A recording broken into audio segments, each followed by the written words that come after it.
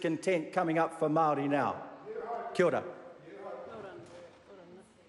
I call Jan Logie. Thank you, Madam Speaker.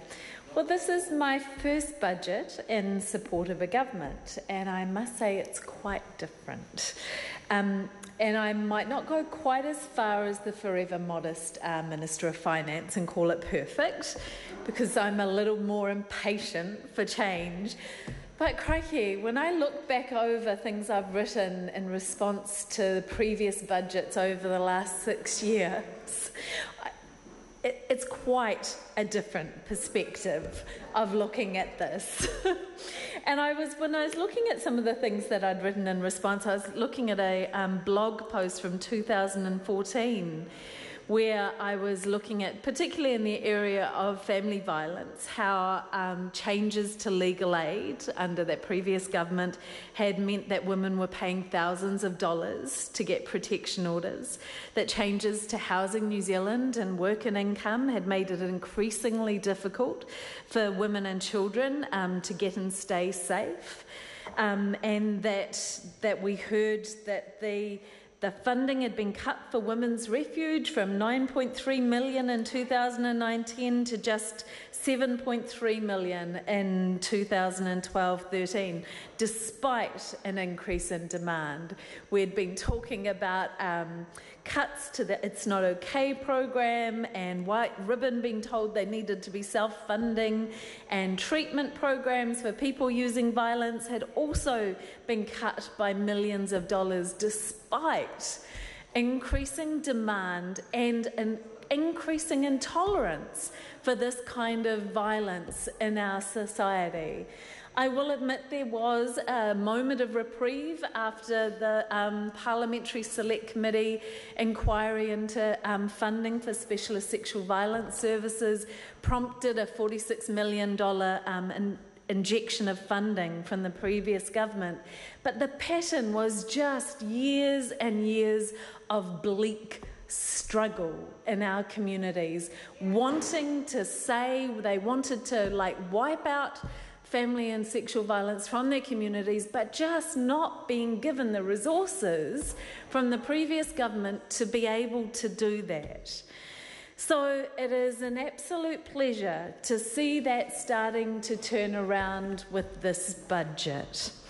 And I want to take a look at least some of the budget announcements in the area of family and sexual violence and what they might mean for people in my community and communities all over New Zealand, but my community in Porirua.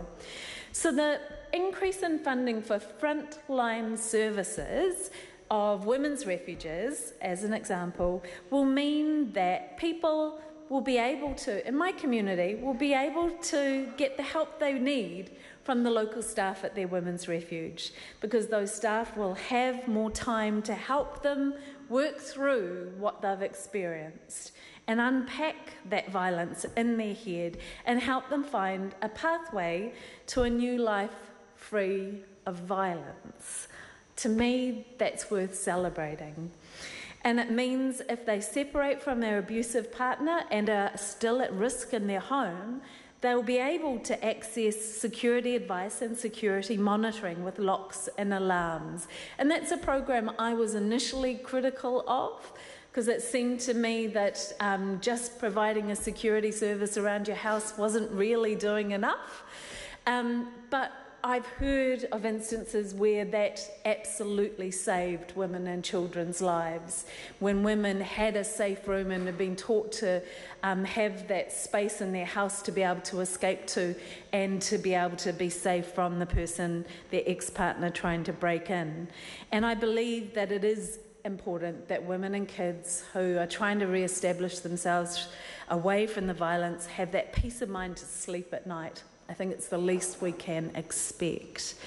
And the additional money for the police will also help make sure that the police can attend call outs and have the time to properly assess what was going on and be able to look at everyone's safety needs in terms of a family violence call out instead of just arresting the person in front of them and having to move on quickly.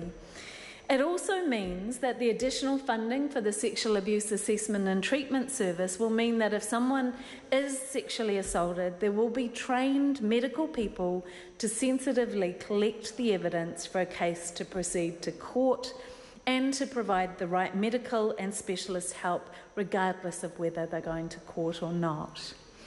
It will also hopefully ensure that the courts can keep victims safe and reduce the trauma of having to give evidence in court by enabling victims of sexual violence and domestic violence, hopefully one day, to have a quiet and restful room to give evidence via AVL, rather than having to go into the courtroom and face, face up against that person who has been torturing them and hurting them previously. It will mean delays caused because there hasn't been enough funding or people available to do expert assessments for the court is a thing of the past. This government is working to ensure those who go to court are supported rather than re victimised, and the process is as easy and as efficient as is helpful, and that people choosing to use violence are held accountable and given the support to change their behaviour. So, there are some small but very, very significant interventions that have come through in this budget across this government that I am pleased and grateful to see. There is another item in this agenda, though, that I really am very excited about, and that is $2 million for a central agent for a new response to family and sexual violence. And while I can imagine right now that my mother's eyes are glazing over at the uh, sound of the word central agent, I just want to explain it for a minute. And that there's, we know that many victims of family violence, and it's also very similar for sexual violence, they will. They may tell people multiple times. And there's an example that came from the Family Violence Death Review Committee that's been mapped out where a woman had initially sought um, counselling for alcohol and drug support. She'd been a victim of family violence. She'd told that counsellor five times before she got a referral. Nobody checked that that referral was followed up, that it was appropriate for her. She never followed up on it.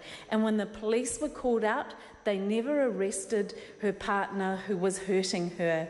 And again, she didn't get the help she needed, and he wasn't held to account. Then it went to court, and he was sent to a program, but again, nobody followed up and checked whether she was safer and whether he had stopped using violence. And ultimately, there were many, many chances for us to inv- intervene through our health system, through the education system, through the police, and through the courts, and we failed to do it. And this is what we see happening over and over again. And sadly, in that case, that woman was murdered by her partner. This happens on a regular basis in this country. And even if it doesn't end in death, too many women and children's lives are so deeply compromised by the trauma they've experienced through their relationship or through the sexual violence because we didn't respond when we could have. Her partner had shown signs of violence right from his early stages, having been a victim living in a household with family violence as a child. We didn't intervene. So that thing called a central agent is how we pull together our response to make sure that every single chance we have to be able to step in and make sure that somebody gets the help they need we take that chance and we get it right to make sure that they can be safe and that the person who is choosing to use violence is held to account and stopped from using violence again. That, for me, is the real hope in this budget. It is the hope for a society that is free of family and sexual violence, where we are all able to thrive and live and experience healthy relationships. And that to me is something worth putting all of our resources towards. and I look forward to seeing this develop over time. Call Maureen Pugh. Uh, thank you, Madam Speaker. Well, today I uh, had the privilege of sitting in my office between appointments and I heard some speeches from the opposite side of the House. And I couldn't believe